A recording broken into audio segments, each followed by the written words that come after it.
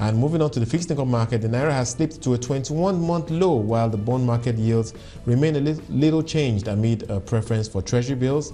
That we now speak to Thaddeus Udegbe, a fixed income dealer at Diamond Bank for more on the fixed income and FX market. Thaddeus, thank you for joining us.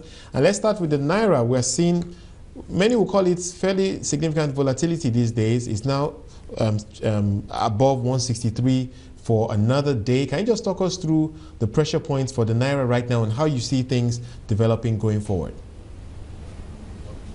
Yeah, thank you, Wale, for having me. Before I look at the development at the foreign exchange market today, I mean this week, I would like us to I would like to take you back to what happened last week. Right. If you look at last week, you find that the Nigerian Naira simply simply responded to global events. Um, last week, last week, last week we saw uh, global events influence the direction of, uh, of, of, the exchange rate. Uh, so if you look at the uh, on Friday, the naira traded to a 20-month low of about 163.70 as a result of sell-off by equity investors, foreign equity investors in the Nigerian Stock Exchange.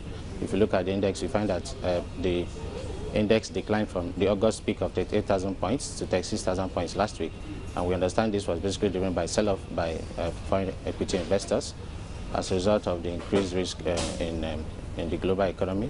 If you look at the developments in the global economy, they are basically what uh, drove uh, the exchange rate last week. If you look at this week, uh, it seems there is some moderation. Uh, on Monday, the, the USD NGN pair opened at 162, where it closed on Friday.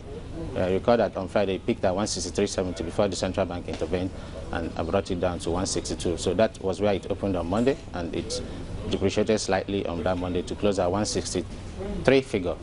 Then on Tuesday, which is today, um, we saw a marginal appreciation at the interbank market. Uh, we, we, saw the exchange rate close at 162.80 as a result of um, a sell-off uh, uh, inflow from. Right, but where do we go from here, though? What's your take on the naira? Are we likely to endure this till the MPC?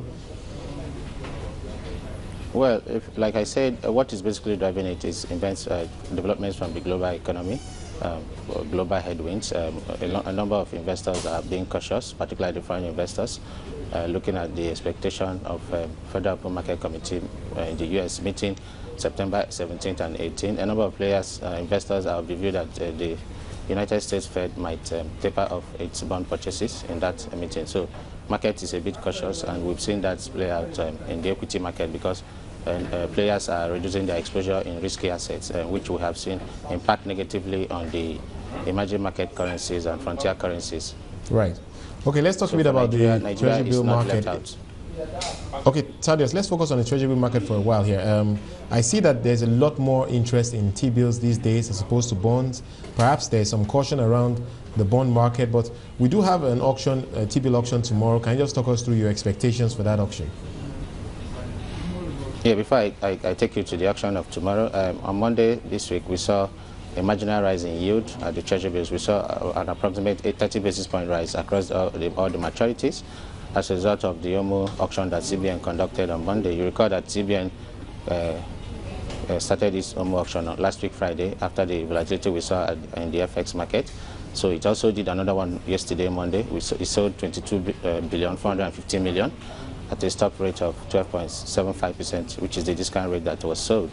And this translates to an effective yield of about 13.38%, which is slightly higher than uh, where those um, similar instruments are trading in the market.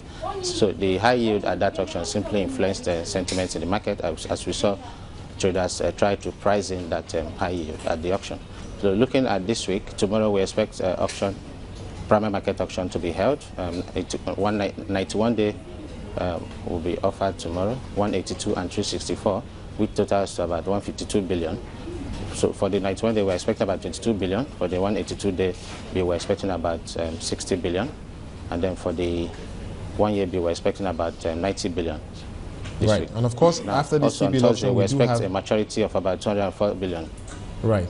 Right, and of course, after this, we have the bond issue next week.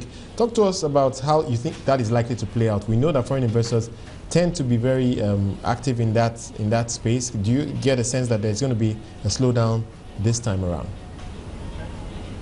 Mm, like you did point out initially, uh, we've seen the bond market this week trade pretty stable uh, as investors remain very cautious and um, of course they've adopted a wait-and-see strategy uh, uh, until events unfold. Like you did mention, the bond auction that we expect uh, September 11 is expected to be a major headwind that will determine the direction of yield. Uh, at that auction, CBN um, DMO will be offering about uh, 25 billion of three-year and 25 billion of 20-year, which are on-the-run instruments. However, if you look at the developments at the OTC market for these instruments, you find that they have been pretty stable, you know, in the last uh, few days. Um,